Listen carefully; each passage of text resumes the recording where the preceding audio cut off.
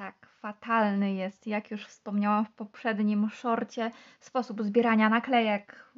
W sensie chodzi o te kwoty, no ale zbieramy.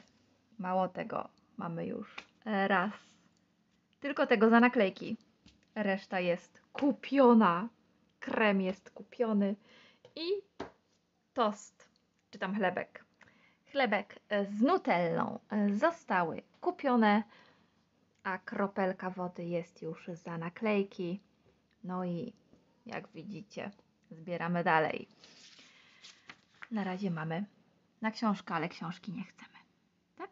Tak, na książkę. Ale książki nie chcemy. Zbieramy dalej.